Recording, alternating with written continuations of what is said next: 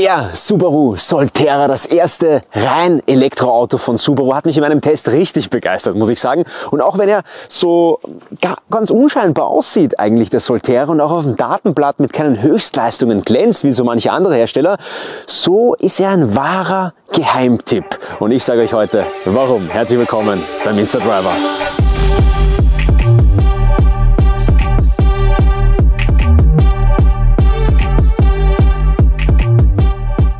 Ja, wir haben hier einen 4,69 Meter langen SUV, Mittelklasse SUV. Also Subaru hat genau in der Nische, wo derzeit am meisten Autos verkauft werden, ihr wisst ja, Tesla Model Y, das meistverkaufteste Auto 2023, genau für diese Nische hat Subaru auch ein Elektroauto gebaut. Und ja, Klasse VW ID4, auch Skoda Enyaq. Und Subaru hat aber folgendes Problem. Denn Subaru hat in der DNA stehen, niedriger Schwerpunkt, Allradantrieb und optimale Gewichtsverteilung. Das sind Eigenschaften, die man unter Verbrennern sehr selten findet bei den herkömmlichen Autos, aber plötzlich bei Elektroautos eigentlich überall. Die meisten bieten plötzlich Allradantrieb, die meisten haben durch die Batterie einen niedrigen Schwerpunkt und damit auch eine sehr gute Gewichtsverteilung. Und in dieser neuen Elektrozeit hat Subaru tatsächlich ein Problem, denn sie müssen jetzt also ihre Werte, in das Elektrozeitalter transportieren, so dass es auch jeder versteht. Und ich habe es zuerst auch nicht verstanden, muss ich sagen, bis ich dieses Auto gefahren bin. Denn Subaru bringt nicht nur diese drei Attribute mit sich, sondern auch Fahrspaß, Fahrsicherheit und Dynamik. Und das merkt man bei dem Auto total. Ich bin eingestiegen und das Auto bewegt sich enorm agil, ohne nachzuwanken. Also bei anderen Autos kennt man das oft, dass sie, wenn man schnelle dynamische Bewegungen macht, Seitwärtsbewegungen, Beschleunigungsbewegungen, dass das Auto immer ein wenig nachwankt. Das macht der Subaru nicht. Er ist enorm stabil, er bleibt immer sehr berechenbar und immer sehr straff auf der Straße und das hat mir enorm gut gefallen. Auch im Offroad gibt es einen speziellen X-Drive-Modus, der uns einfach ermöglicht, das Auto selbst mit nur einem Rad frei, alle anderen Räder durchdrehend, weil sie im Matsch, im Schnee stecken, das Auto zu befreien. Und äh, das sind wirklich tolle Sachen. Ich habe hier einen YouTuber gesehen, der hat das auch getestet mit eigenen äh, Rampen, wo dann diese Räder tatsächlich blockiert sind und einfach nur durchdrehen. Und so hat er es geschafft, mit dem rechten hinteren Rad sich zu befreien, nur mit einem Rad und mit dem linken vorderen. Mit dem linken vorderen Rad war es aber tatsächlich einfacher und schneller, da die Gewichtsverteilung so aussieht, wir haben hier vorne einen Elektromotor mit Steuereinheit, der doch einen höheren Aufbau hat als hinten. Der Elektromotor hinten, der liegt nämlich etwas flacher. Und dadurch ergibt sich einfach wahrscheinlich da vorne mehr Gewicht als hier hinten. Und daher haben wir mit den vorderen Rädern mehr Kraft dann, obwohl beide Achsen, also der vordere Elektromotor leistet 80 kW, der hintere Motor 80 kW, das sind zweimal 109 PS, für insgesamt 219 PS dann 218 PS Systemleistung und äh, müsste eigentlich dieselbe Kraft sein. Aber dadurch, dass wir hier wahrscheinlich mehr Gewicht oben haben, ist die Wahrscheinlichkeit, dass wir uns mit den vorderen Rädern frei bekommen, größer als mit den hinteren, obwohl sie eigentlich immer sehr gut gegeben ist bei dem Auto. Also das hat mich schon sehr begeistert. Ich habe hier im Wald jetzt schon ausprobiert, das Auto wirklich in Extremsituationen zu bringen und ich wäre mit dem normalen Standardmodus nicht mehr vom Fleck gekommen, weil alle Räder durchgedreht haben, weil es so steil war und so schräg. Aber mit dem X-Drive-Modus hat sich das Auto einfach vorgebahnt und bei dem X-Drive-Modus arbeitet das Auto genauso mit den Bremsen, denn sobald ein Rad feststeckt, können wir einfach durch Traktion immer wieder auch mit den Arbeiten von Bremsen, mit Seitwärtsbewegungen das Auto frei bekommen, wenn die Räder nämlich durchdrehen. Und das ist eine tolle Sache, das schafft der Subaru Solterra eigentlich richtig gut. So, schauen wir uns mal die Rückbank des Subaru Solterra an. Der Sitz vorne ist auf mich eingestellt, beide hier. Und ihr könnt sehen, hier ist jede Menge Platz. Also ja, nach oben, nach oben ist etwas weniger Platz hier, Kopfluft, aber für meine Größe 1,78 ähm, reicht das vollkommen aus. Ich denke, hier können auch Leute bis über 1,90 hier hinten sitzen. Also das ist ein großer Vorteil. Also ihr seht, der, der, die Beinfreiheit ist gut. Ich kann die Füße auch hier unten geben, also auch die Sitze sind nicht zu tief. Und äh, auch hier hinten zieht sich das mit so ein bisschen nicht ganz so modernen Applikationen hier durch. Aber es ist alles vorhanden, was man braucht und die Materialien sind durchaus robust, solide und äh, ja, auch hochwertig, muss man sagen. Wir haben Isofix, schauen wir mal nach. Hier Isofix, hier Isofix und vorne, jetzt habe ich kein Isofix gesehen. Wir haben hier auch dieses Panoramaglasdach, das aber, ich sehe, noch nicht ganz ausgereift ist, weil Subaru braucht hier immer noch einen Balken bezüglich der Stabilität des Autos wahrscheinlich, um einfach hier das nicht durchgehend machen zu können, obwohl das Glas hier, wie ihr seht, durchgehend ist. Also da, ja, ah, da gibt's noch eine Beleuchtung, oder wie ist das? Nee. Oder doch? Also da frage ich mich dann, okay, wieso schaffen das andere Hersteller und Subaru noch nicht? Woran liegt das? Ist es wirklich ein Thema von Steifigkeit oder gibt es hier noch andere, andere Sachen, die, die da bedeutend sind? Okay, auch diese Seiten, ein Kindertest immer, ja, das wird jene Menge aushalten hier, das hält jahrzehntelang Kids durch, auf jeden Fall, das gefällt mir gut. Also kann ich nur sagen, passt eigentlich alles hier hinten, gibt es auch eine Mittel. Ähm, Konsole Durchreiche sehe ich gerade, gibt's keine. Aber die Sitze lassen sich natürlich 60 zu 40 umlegen, aber das schauen wir uns jetzt im Kofferraum an. So, machen wir einen Blick auf den Kofferraum, der sich hier vollautomatisiert öffnet, aber auch wieder schließt. Und hier offenbaren sich bis zu 441 Liter Kofferraumvolumen, die riesig hier wirken, muss man sagen. Wir haben auch eine wunderschöne gerade Ladekante hier, sehr aufgeräumt. Der Kofferraum mit auch einer Hutablage hier, die sich sehr gut integrieren lässt, die auch sehr schön ist sehr hochwertig auch eingesetzt ist, da man sie hier super easy auch einfach rausnehmen kann, um dann die Sitze umzulegen. Und ihr seht, wir haben auch einen doppelten Boden, um einfach mehr Kofferraumvolumen hier einfach nochmal zu generieren. Der, der, lässt sich auch wahrscheinlich komplett wegnehmen. Dann haben wir nochmal etwas mehr durch die zwei Zentimeter Dicke hier. Und hier unten, hier ist natürlich auch noch Platz mal für ein Ladekabel im doppelten Boden. Das finde ich schön. Ah, wir werden jetzt mal die Sitze umlegen, 60 zu 40 lassen die umlegen. Hier an der Seite sehe ich gerade, hier befinden sich auch noch schöne Häken, die sich hier ausklappen lassen. Das finde ich auch toll. Hier und auf der anderen Seite genauso. Also das ist eine sehr schöne Applikation hier. So, setzen wir das mal wieder ein. Im Regelfall wäre das hier diese schöne gerade Ladekante immer bevorzugt. Und von hinten lassen sich die Sitze einfach auch sehr schön umlegen, 60 zu 40, wie ihr das seht. Ähm, und dann haben wir wesentlich mehr Kofferraumvolumen. So, machen wir mal einen Blick auf den Innenraum des Subaru Solterra. Und hier fühlt man sich sofort wohl, muss ich sagen. Aber es ist ja auch nicht irgendetwas außergewöhnlich im Innenraum. Es sind alle Sachen gut verarbeitet. Hier ist mir ein wenig zu viel Klavierlack noch. Aber ihr seht schon, es ist prinzipiell gut verarbeitet, aber nichts außergewöhnlich im Innenraum. Wir haben sehr viele Knöpfe, das sehr vielen gefallen wird, auch noch sehr viele physische Knöpfe hier, die wir betätigen können. Es gibt für alles ausreichend viele Knöpfe, das gefällt mir ganz gut. Auch dieser ja, diese Art Tunnel da, der zum Lenkrad führt, der ist am Anfang gewöhnungsbedürftig, muss man sagen. Es hat mich auch gestört, dass dieses Instrumentendisplay hier so weit weg ist und man eigentlich dann Probleme hat, das Lenkrad hier übers Lenkrad zu sehen. Da muss man die richtige Sitzposition auch noch finden. Aber mit der Zeit ist es dann überhaupt auch kein Problem, wenn man mal diese Einstellung gefunden hat. Das Lenkrad und der Sitz, das lässt sich ja sehr schön individualisieren hier.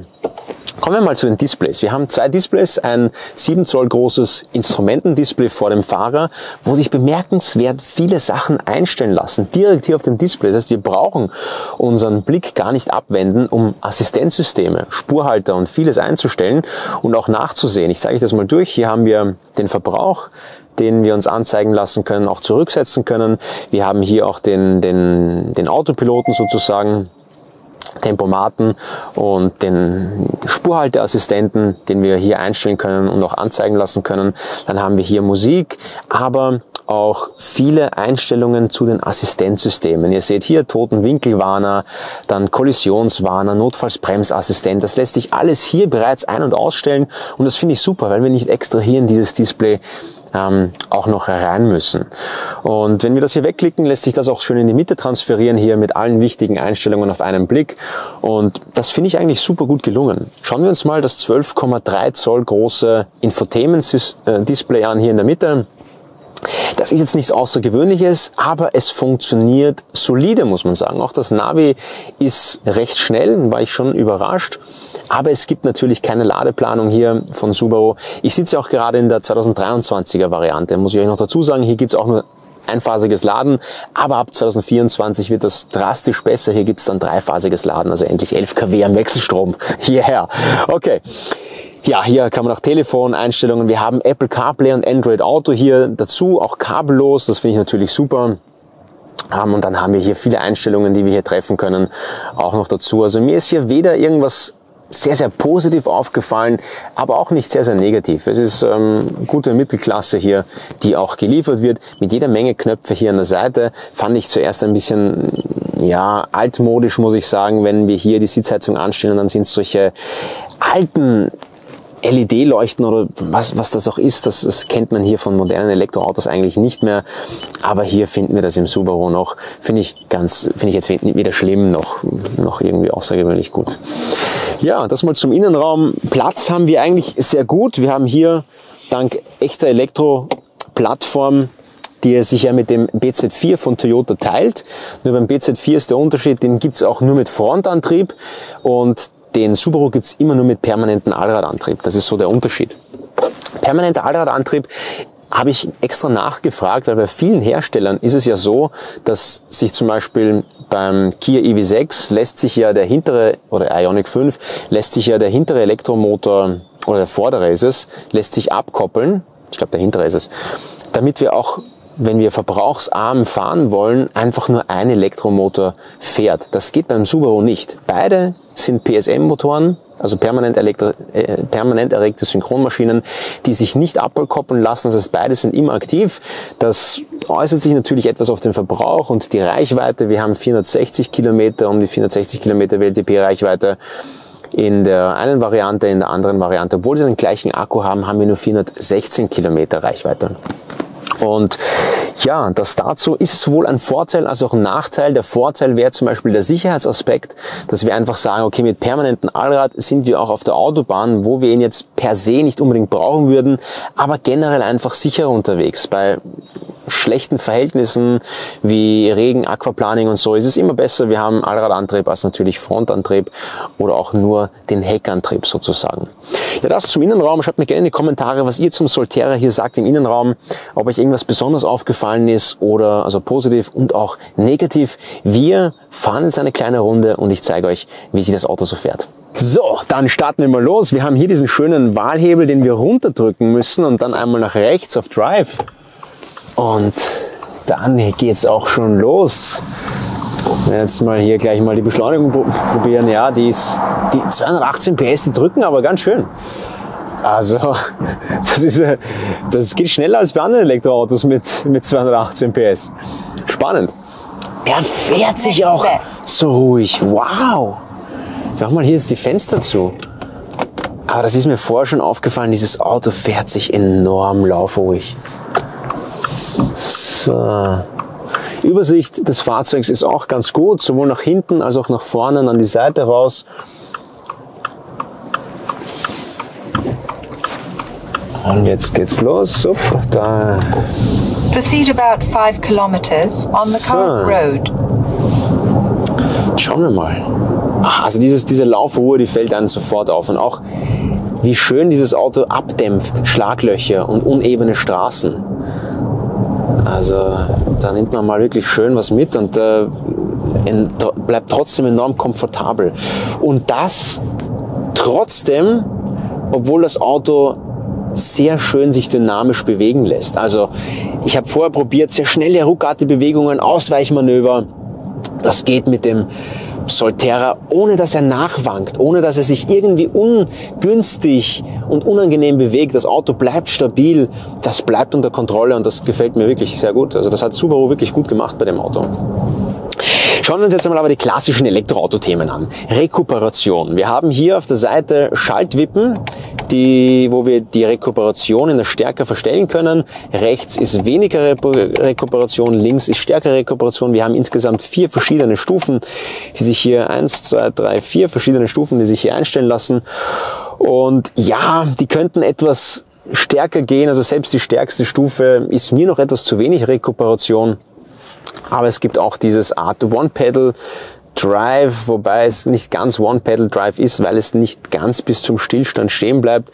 Wir haben hier auch noch die Hold-Funktion. Ich probiere jetzt mal beides aus. Dann lässt sich das Auto erst mit dem Betätigen des Strompedals wirklich fortrollen. Und jetzt probieren wir mal aus, dass er wirklich bis zum Stillstand stehen bleibt. So, wir bremsen uns jetzt hier mal ran. Ja, er bleibt wirklich, er wird sehr, sehr langsam. Aber bis zum Stillstand gibt's hier nichts. Beim Solterra müssen wir die Bremse noch betätigen. So, Retourgang, die Kameras, die sind mir enorm positiv aufgefallen. Auch dieser Modus, der im X-Drive besonders wichtig ist, denn wenn wir, wenn wir auf X-Drive, ja, danke. Wenn, wenn wir auf X-Drive schalten, so, was ist jetzt hier los? Prüfen Sie Umgebung, ja, so. Ich schalte mal die, das so ein und im X-Drive-Modus, so, und seht mal hier, hier wird der Untergrund nämlich, also das Auto wird durchsichtig und ich sehe genau, was unter meinem Auto ist. Und ihr fragt mich jetzt, ja, toll Matthias, aber wozu brauche ich das? Im Offroad. Für Offroad ist das ideal. Wenn wir hier sehen, was unter uns befindet, das ist einfach fantastisch. Finde ich richtig gut. Die Kameras sind auch hochauflösend, die hängen nicht. Also da hat Subaru wirklich einen guten Job gemacht. So, was wir uns noch anschauen können, ist natürlich der Wendekreis. Ich probiere jetzt hier mal zu wenden. 12,5 Meter, glaube ich, sollte der Wendekreis sein. Also nicht allzu gut, aber auch gar nicht schlecht. So, und jetzt geht's los. Wendekreis hier mal auf der Straße. Ja, es geht sich sogar aus, dass wir hier, ohne reversieren einmal auf der Straße umdrehen. Ist ganz in Ordnung. Wie gesagt, kein fantastischer Wendekreis, aber auch gar nicht schlecht. Right turn coming up. Then so. right turn. Das Navi, das schalte ich jetzt wieder aus, weil das hat hier keinen Sinn. Ich finde auch wirklich schade, dass es keine Ladeplanung hier gibt und das ist natürlich immer etwas nachteilig, wenn man ein Elektroauto bewegt und dann auf längeren Strecken unterwegs sein muss. Auch die Reichweite ist nicht besonders stark beim Solterra. Wir haben 460 Kilometer in etwa bei der Variante mit den 18 Zoll Rädern und wir haben 416 Kilometer bei der schwereren Variante, die wiegt ein bisschen mehr und hat dann auch noch 20 Zoll Räder, kostet dann einen etwas Aufpreis und man hat ein bisschen weniger Reichweite. Beide haben dieselbe Akkugröße, 64 Kilowattstunden, 71,5 Kilowattstunden brutto, also 64 Kilowattstunden rein davon nutzbar.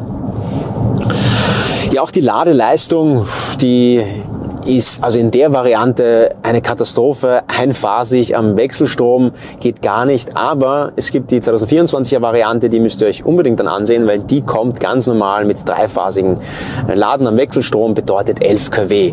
Und am Schnellstrom, also am, am, Super, am Schnelllader, jetzt sage ich schon Supercharger, ah, dieser ganze Namen, am Ionic Hypercharger zum Beispiel, da geht's dann mit 150 kW voran. Wir haben den Ladeanschluss übrigens links vorne, also er ist nicht wie bei den meisten Autos hinten, sondern vorne und zwar auf der linken Seite hier vorne. Wir haben Typ 2 natürlich europäischer Standard, sowohl CCS, als, also wir haben CCS, muss man eigentlich sagen, also europäischer Standard mit auch Typ 2, sowohl Schnellladen als auch langsames Laden am Wechselstrom.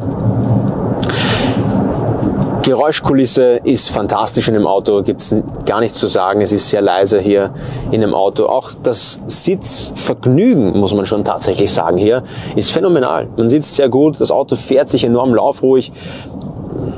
Also das Fahrgefühl ist eines der besten Dinge an diesem Solterra, muss ich sagen. Das, das ist wirklich herausragend. Wie sich das Auto fährt, ist wirklich herausragend. Eine Sache gibt's noch und zwar die Fahrmodi muss ich euch zeigen. Hier haben wir nämlich die Auswahl zwischen den, den herkömmlichen Fahrmodi, sprich Eco und Sportmodus, hier als Power und Eco äh, beziffert oder betitelt. Und dann haben wir drunter noch den X-Mode und der ist für Offroad und der kann wirklich was. Das ist nicht nur einfach so ein, ein Show-off, den Subaru hier macht, denn ich habe es tatsächlich getestet und es hat einen wesentlichen Unterschied gemacht, selbst wenn ein Rad in der Luft war und eigentlich keinen Grip Grip hatte. Und wenn wir das hier betätigen, haben wir zwei verschiedene Modus. Der X-Mode normal ist der erste, ist für Schnee und Schotter. Und wenn wir nochmal drauf drücken, ist dann sogar tiefer Schnee und Matsch für wirklich das Gelände, wo die Räder nur noch durchdrehen. Hilft dieser Modus tatsächlich sehr und hat mich sehr überrascht hier im Subaru. So, machen wir mal einen Blick auf das Fazit des Subaru Solterra. Ich finde den Namen ja schon sehr schön. Also besetzt sich aus dem lateinischen Begriff Sol und Terra zusammen, also Sol wie die Sonne und Terra wie die Erde. Also zwei nachhaltige Themen, Sonne und Erde, die sich hier im Solterra vereinen. Und das gefällt mir. Ähm, was mir auch gefällt am Solterra ist auf jeden Fall seine Verlässlichkeit und dass er in anspruchsvollen Situationen eigentlich sehr zuverlässig ist. Gerade wenn man auch geländegängig ist, dann schafft das Auto einem wirklich zu befreien, obwohl man nur ein Rad hat mit Grip. Und äh, das finde ich schon sehr, sehr toll am Solterra. Auch das Fahrgefühl lässt sich sehr positiv hervorheben. Finde ich eine Besonderheit. Es fährt sich richtig schön, das Auto. Es ist so leise, so laufruhig. Das kennt man nicht von allen Elektroautos. Auch das Wankverhalten ist nicht vorhanden. Das Auto ist stabil, agil, dynamisch auf der Straße. Es macht richtig Spaß, das Auto dynamisch auch zu bewegen obwohl es gleichzeitig sehr komfortabel ist, sprich Schlaglöcher, unebene Straßen, dämpft das Auto extrem schön weg. Also diese Spreizung zwischen Dynamik und Komfort schafft der Solterra richtig gut. Bevor wir zu den Nachteilen kommen und ihr euch überlegt, ob ihr ein Elektroauto kaufen oder leasen wollt, schaut euch unbedingt mal das Instadriver E-Auto Abo an. Da habt ihr nämlich zu einem Preis alles inklusive und auch keine Sorgen mit dem Restwert des Elektroautos, der ja enorm sinken kann, aber auch nicht mit dem Akku, dem teuersten Bauteil des Elektroautos. Unter diesem Link schaut mal rein, da findet ihr jede Menge tolle Elektroautos zu Abo-Preisen, wo bereits alles inkludiert ist, außer das Stromladen, das müsst ihr nur noch selber machen. Also das lohnt sich mal wirklich einen Blick dahin zu werfen. Ja, was sind so die Nachteile? Man muss sagen, wenn man das Auto zuerst mal auf dem Datenblatt sieht, dann denkt man sich schon, okay, so besonders ist das jetzt nicht. Trotzdem hat mich die Fahrdynamik und dann auch die, die, die Beschleunigung und das Ansprechverhalten des Autos richtig überzeugt. Aber Ladeleistung natürlich in der Variante 2023 einphasig, das geht meines Erachtens schon gar nicht mehr. Zum Glück kommt 2024 die nächste Variante, wo es dann auch dreiphasiges Laden mit 11 kW gibt und da bin ich schon sehr, sehr froh. Ansonsten 150 kW Schnellladen ist ganz in Ordnung, super Durchschnittswert. Im Interieur, im Infotainment-System sehe ich eigentlich die größten Schwachstellen. Es gibt keine Ladeplanung und äh, ja, es, ist, es wirkt ein wenig altmodisch im Interieur, muss ich sagen. Also das können andere äh, Hersteller etwas besser, dass es hier einfach moderner wirkt und hier im neuen Zeitalter schon angekommen. Ähm, Subaru verbindet hier natürlich sehr alte Werte mit den neuen Werten jetzt und sie versuchen hier auch ihr Bestes, was sie gut umgesetzt haben. Aber wer auf Optik und Modernität gerade im Interieur Wert legt, der wird mit dem Solterra vielleicht nicht ganz zufrieden sein. Wer aber auf Sicherheit, Verlässlichkeit und alte Werte sozusagen Wert legt, ähm, der sollte sich den Solterra mal unbedingt ansehen, ihn mal Probe fahren und äh, vielleicht ist er dann genauso überzeugt wie ich, der sagt, okay, er fährt sich nämlich richtig fantastisch und teilweise besser als andere Elektroautos. Ja, das war mein Fazit zum Subaru Solterra. Schaut gerne beim Instadriver weiter rein. Für jedes Kommentar, auch unter diesem Video, verlosen wir am Freitag in unseren News eines unserer tollen Amazon-Produkte. Das solltet ihr auf jeden Fall nicht verpassen. Und ansonsten gibt's ja hier jede Menge tolle Faktenchecks. Es gibt Autobahnreichweitentests. Es gibt unsere Specials, wie unser tolles Drag Race, was zeigt, was die Technologie der Elektroautos hier so vollbringt und wie sie auch die Technologie der Verbrenner mittlerweile in den Schatten stellen. Das Video verlinke ich euch auch noch mal hier am Ende oder hier an der Seite wird's dann sein. Und das müsst ihr euch mal auch unbedingt rein, äh, anschauen. Reinziehen wollte ich jetzt sagen. Ja, da, da wäre ich schon wieder emotional. Genauso wie in diesem Video. Ja, ansonsten gibt's nur noch eines zu sagen. Schaltet ein beim nächsten Video vom Instadriver. Fahrt elektrisch und liebt das Leben. Ahoi!